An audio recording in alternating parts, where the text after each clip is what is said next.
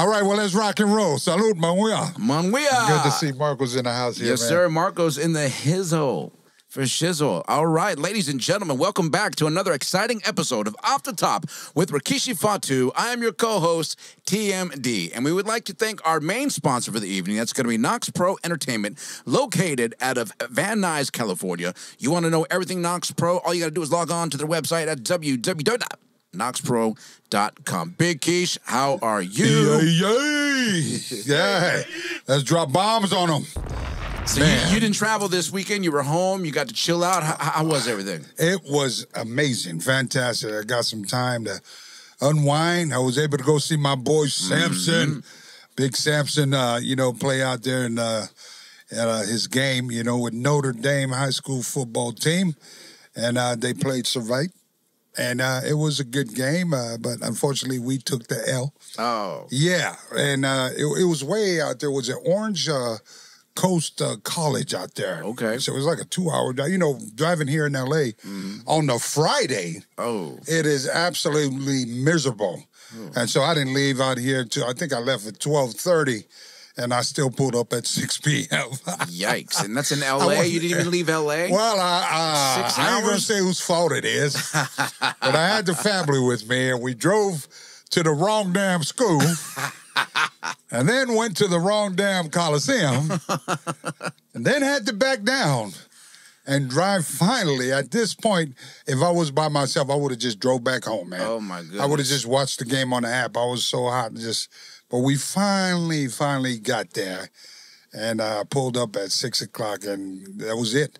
I found me a corner to chill at, Uh huh. and then I just chilled and just watched the game, man. Just happy to be there. Did you guys get a good parking spot? Absolutely. Didn't need a scooter to get on. Oh, absolutely not. The blind man, the blind man pulled up. You know, Mama just pulled up the car where it needed to be, and that was it. You know what I mean? For those of you that remember, the last time Big Keish was at a, uh, one of Samson's football events, uh, you know, he had to get on one of the scooters and uh, Mm-hmm. Yeah, didn't, yeah. didn't do so well. Took a damn bump, and man, my, my, my damn elbow's still trying to heal up from riding. A, a 450 pound guy has no no business being on a damn scooter. So anybody out there that's making scooters, I dare you to make a scooter that'll hold up a 450 pound bleach blonde hair Samoan. You know what I mean? There's your plug right there. I won't- imagine it's going to happen soon now. Well, let's let's do it. You know, hey, and it's good to see our friend Marcos is in the house. Yes, sir. Garcia. Yes, sir. Man, what's the name of your business? What are you doing now, man? 5590 Productions. 5590 Productions. I got to tell you what, Marcos is probably one of the hardest working men in show business. Uh, man, uh, he's got all the nice toys, all the knowledge. He knows a lot of stuff. Good guy. It's good to see you, Marcos. It's been a minute. Yeah, what you know what? Uh, he's a lifesaver. Yes, yes. I just seen him. I called him. You know, we- we gonna put it. out. We we've been delayed a couple weeks. Just a It's just a little technical problem, but you know when when you got a bunch of wrestlers trying to do a podcast and a manager and a producer that we do music. We don't do like you know all this videos going back and forth. So you know I've been trying to like for the last I don't know what six months, six months, about six months. You know. We've been just trying to get, you know, get all this stuff situated. We're not Right. doing too bad. Not too bad. You know, after we seen, you know, we put, put out those teasers last week.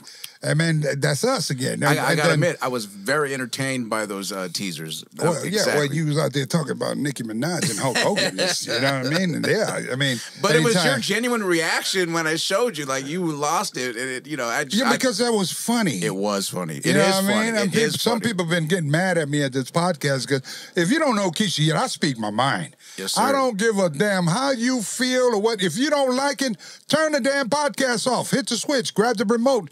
I don't know. Shove it up your. Do something with it. You know what I mean? If you don't like it, turn it. Yes, you know. sir. But so this is the this is the difference here with when you when you get Big Keisha on the line. Mm-hmm. This is what you're gonna get. But going back to Marcos here, you know what I mean? This guy here does all the concerts and stuff, all, all these, you see big screens. I mean, you talk about speakers, a sound system, forget it. He used to do this for us back in, well, for Knox Pro back in the day, from day one, you know? And uh, for a while, I thought he moved to Texas and forgot to say goodbye to me and broke my damn heart. And I, I opened up the phone on my iPhone and his number's still in. I said, this is God done sent me Marco's number in my phone. And I called him up. I said, brother, I need you. I need you. Come on through. So I feel good. You know what I mean? I'm sure our whole crew feel good now because we got some type of direction now which way we going as far as technical. Yes, sir. Technical bro. Yes, sir. It's and you know what? Not only feeling good, you're looking good in that brand new Rikishi off the top swag you're wearing there on Oh. the top. The hat right there. Ladies and gentlemen, as a matter of fact, grab your exclusive off the top merch now. Show your support and represent the podcast with our latest designs. We're gonna bless Marcos with a hat. Head over to rikishifatu.com and get yours today. Don't miss out. There's all kinds of new merchandise. That looks good on you, Marcos. Check it, it out. Check it out.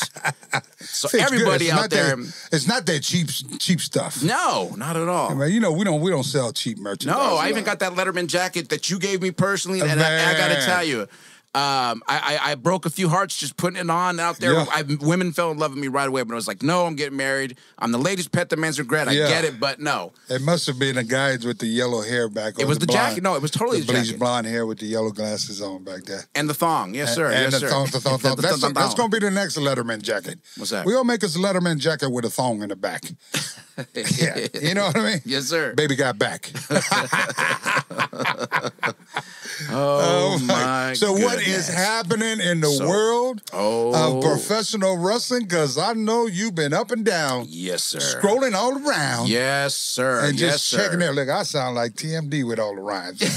well, you know don't what? never cover. See, you starting once- to wipe up on me. So- well, you know, it, it you know, Yeah. it'll happen. It's a good thing. It'll come to you. It'll come to me. it came to me coming. That's all we do. We just sit here and just bull and just keep it going, man. But And you know what, All right. Big Keish, I've been hearing Yeah. from a lot of the fans too, and I want to give a quick shout out to two fans in particular. all right. Silverback and uh, Kari uh, out there, big fans of the show. They send their love. They want to send their big shout outs to Big Keish. What's the said, uh, name? Kari and Silverback. Now, who the hell calls somebody a silverback?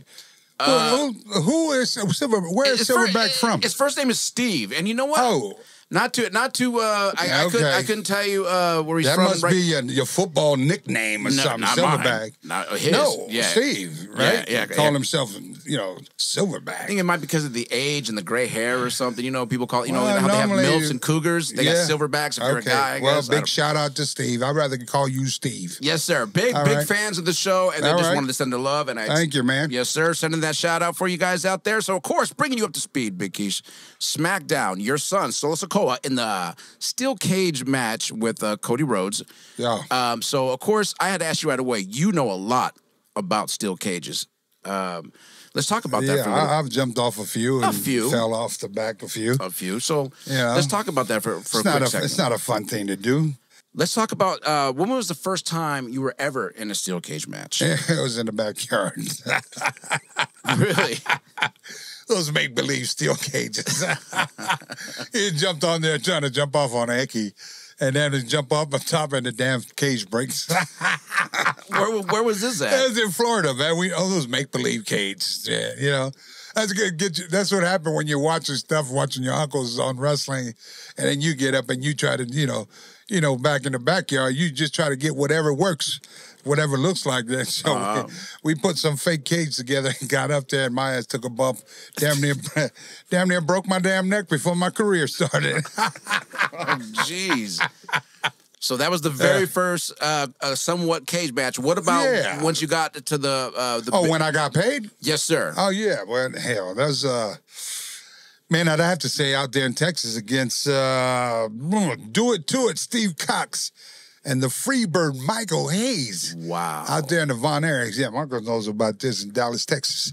The Sportatorium. yes, you, sir. you're probably Uh, too oh, young. Of course, I, it. no, I've been there. You remember? Oh, you I, I- okay? I- well, I, not while Of I course was up, you've been of course. there. I did. I Of did. course When I went to. Dallas, I said, "Take me to the Sportatorium." Yeah. I did. I went there. I'm not So, gonna lie. Yeah, I was there. We had a cage match there, and uh, yeah, that was uh, working against Do It To It, Steve Cox and uh, Michael Hayes. You know, and then uh, I, I think the finish was uh, we eliminated uh, uh, Steve Cox, and then there's two Wild Samoans. We're supposed to be built up like like just animals. We just killers, Mm-hmm. and we couldn't beat old Freebird Michael Hayes. That's what we know about the business. you know, when you come to Texas, boy, you gotta lay down. You know oh what I oh, mean? man. Yeah, yeah. exactly. we smarten up real quick. Yes, sir. Yes, sir. So Thank, wow. thank you, Michael Hayes. Appreciate. Appreciate putting us over. what do you do to now that you're in the real, getting paid to do the real steel cage matches with the real steel? What do you do mentally to prepare for something like that? Because it's not a regular match. I mean, and that's not fake steel, ladies and gentlemen. That's not Yeah. a prop steel. That is real steel cages. Anytime you see that out there. So, what do you do mentally to prepare for a match uh, as uh, man as hardcore as that? I mean, that's that's pretty crazy to go in there in a steel cage. And how do you prepare for you, that? you- you don't. You just in the zone, man. You. It's like another day at the, you know, another walk in the park.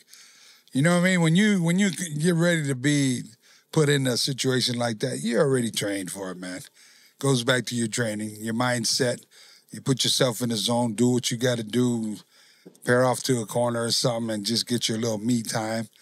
You know, say a little prayer. You know, and then you just get out there and you just do what you do. Now, when you get in the cage, you just kind of look around and first thing I do is I touch the cage and I'll, I'll walk around and kind of feel certain parts of the case. Make sure this is tight enough. Is this loose or this blah, blah, blah. I'll, I'll kind of, you know, fill out a corner.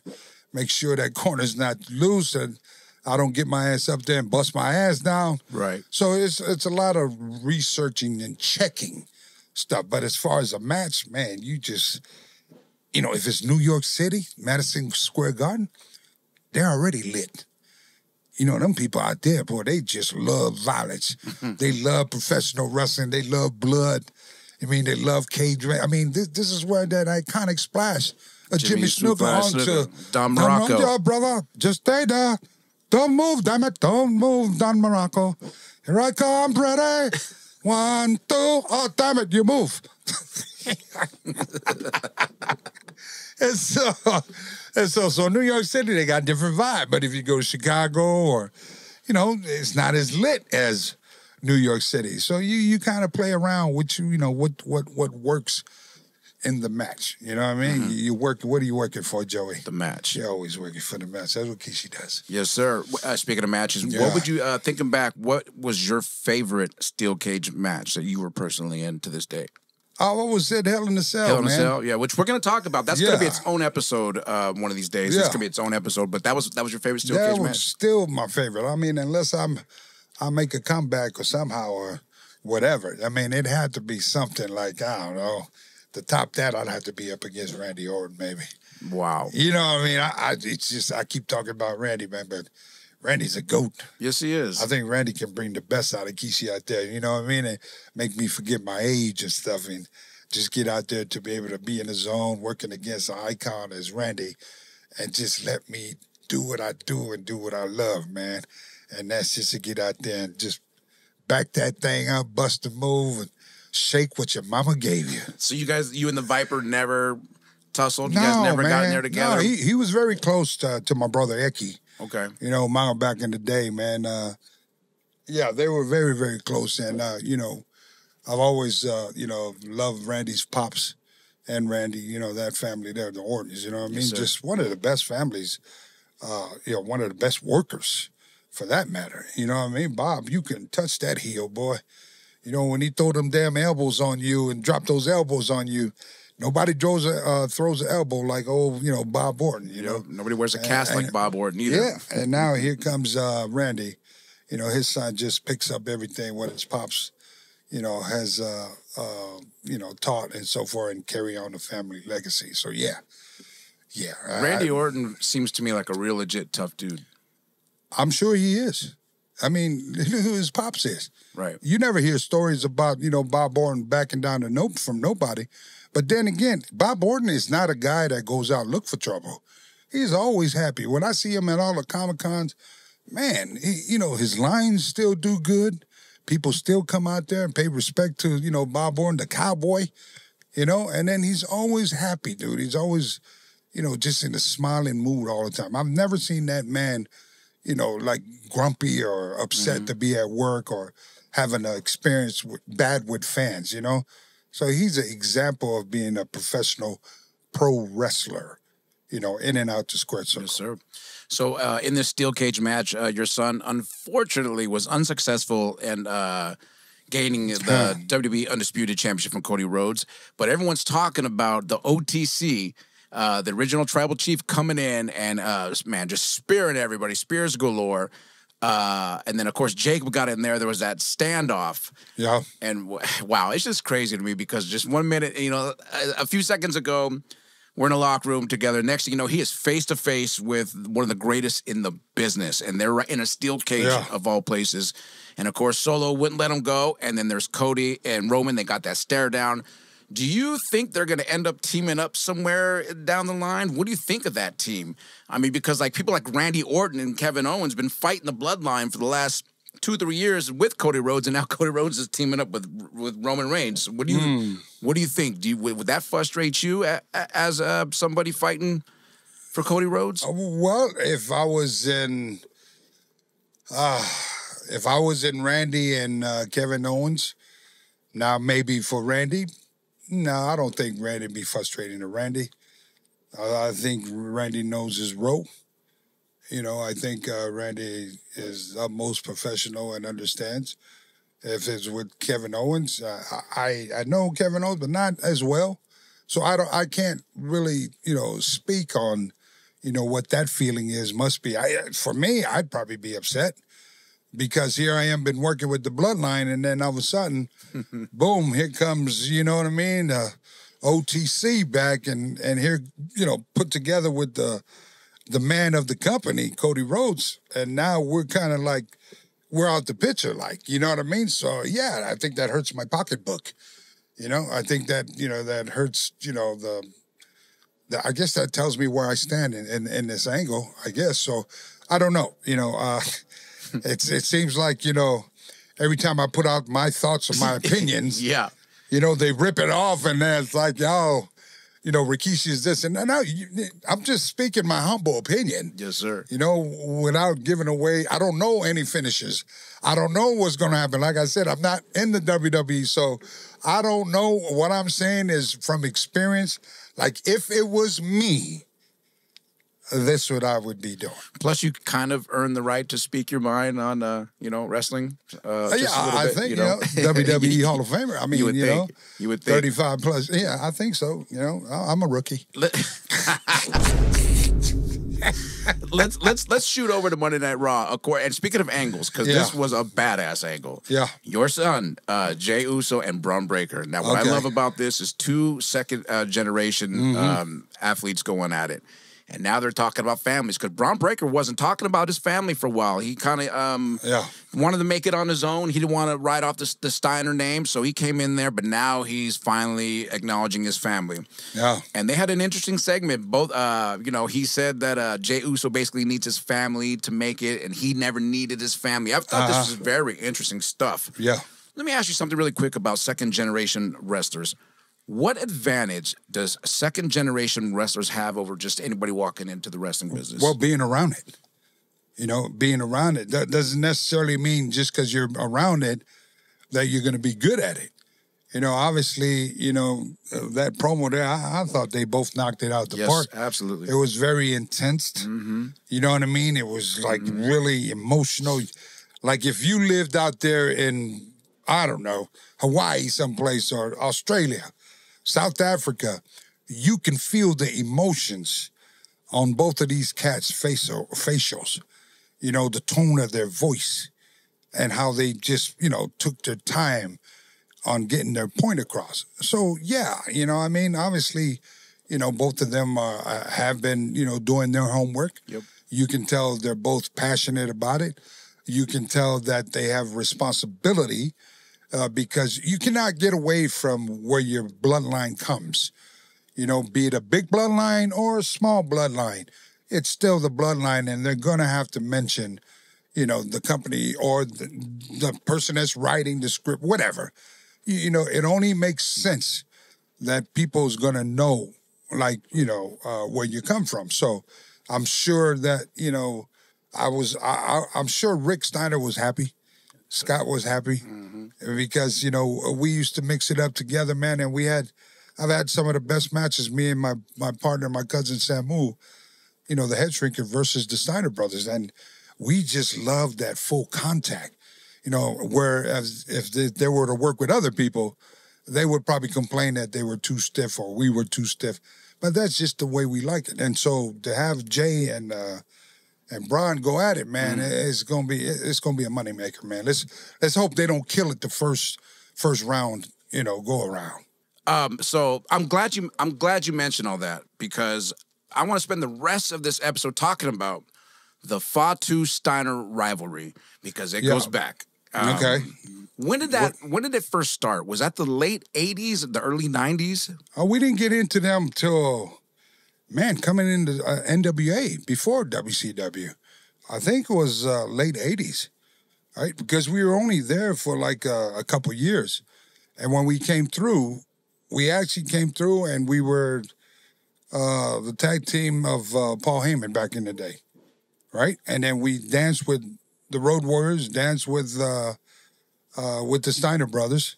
So the majority of the time was both of those cats, but a lot of times, you know, we worked a lot with Steiners once we all went up to uh, to WWF back in the day, WWE now. When did you When did you first meet the Steiners? Like, do you remember the first Oh, time you met them, and, and what was your first impression of them? 1987, man. 1988, uh, the late when we first when we first found out we, we were we were going to work with them. We met them in the locker room. You know what I mean? You remember how Scotty used to look? Scotty looked like damn, like Conan the Barbarian.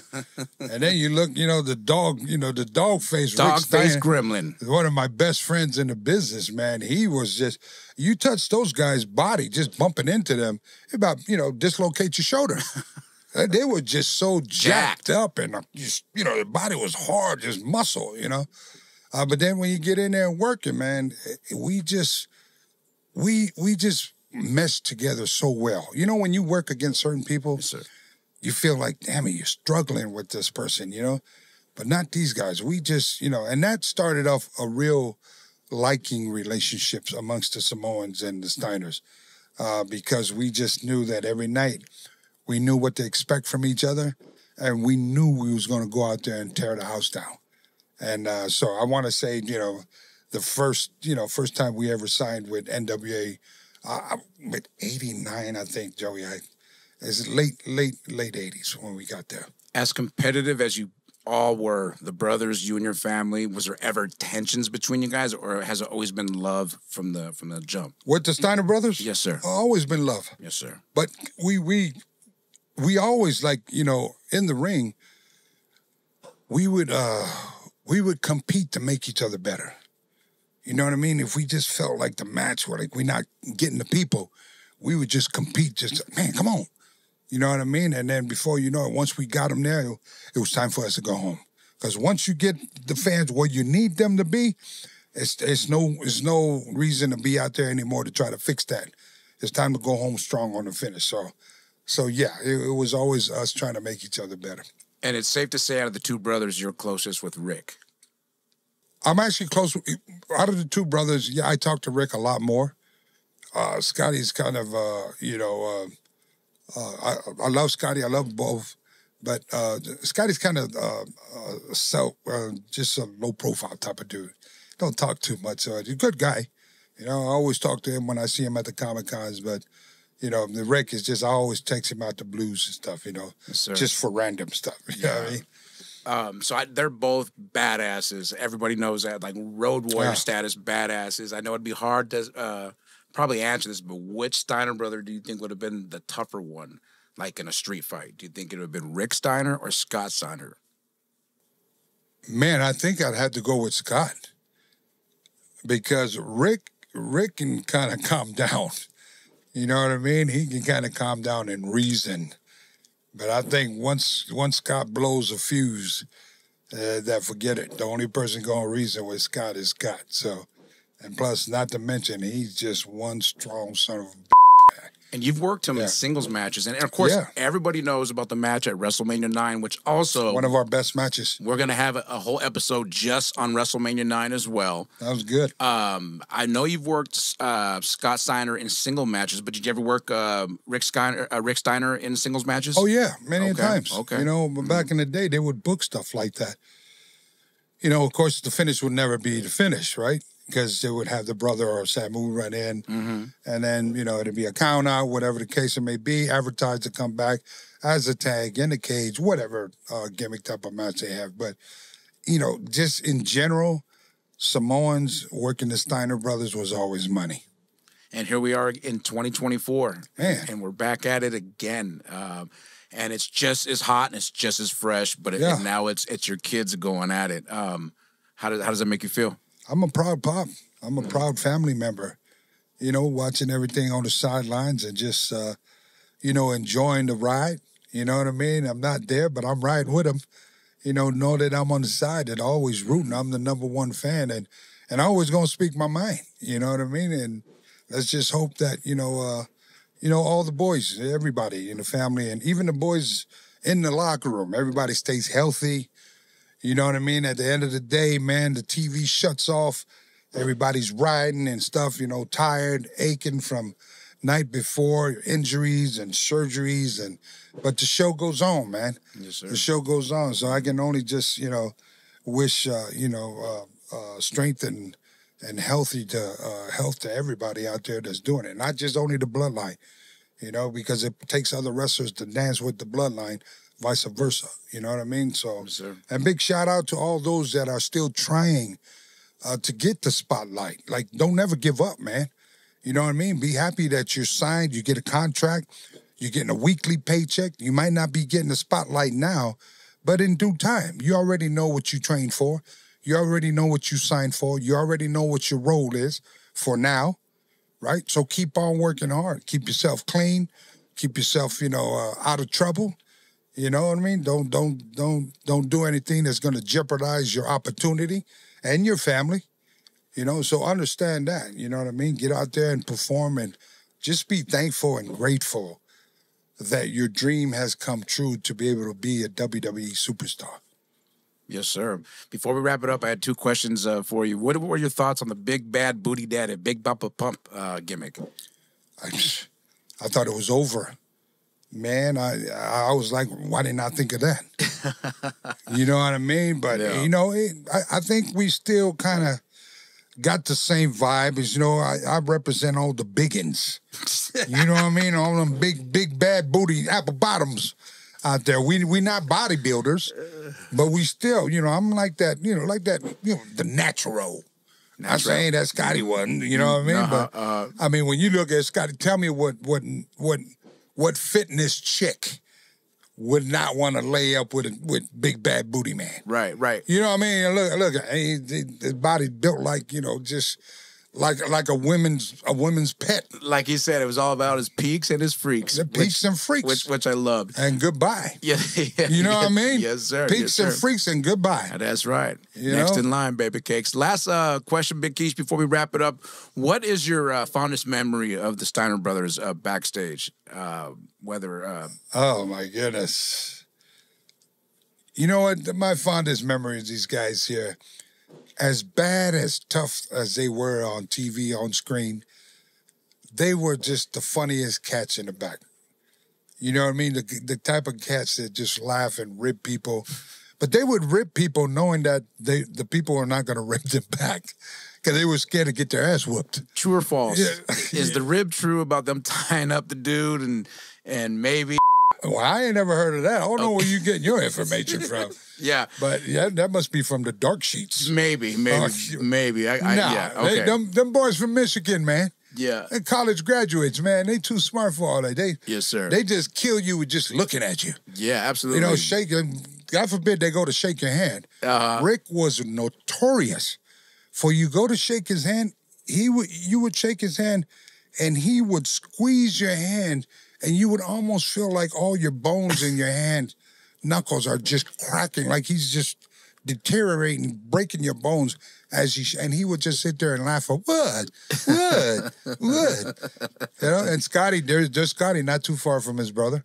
He's just watching his brother just laughing his ass off, you know, probably doing doing push ups and stuff like that. But yeah, you know those those guys were good, very uh, good athletes.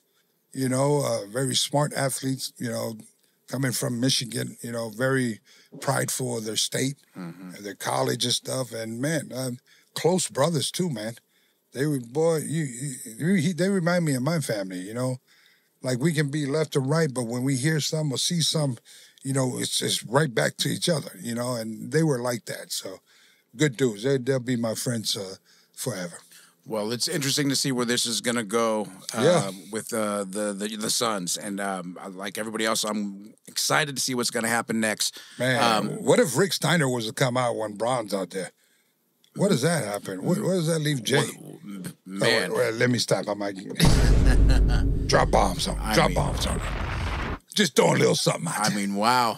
I mean, Wow, wow. That, would- As it's wow, wow. That You're talking be- about ratings. That would be cool. Ratings would just go off the, ce- the ceiling.